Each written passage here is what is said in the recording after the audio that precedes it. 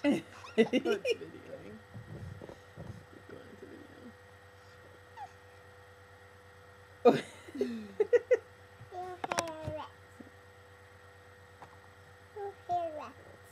Look at, look at Adaline. I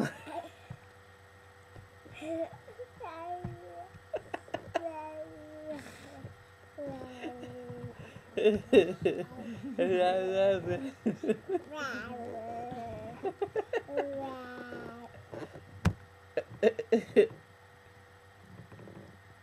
Adaline, you look weird. Like an alien.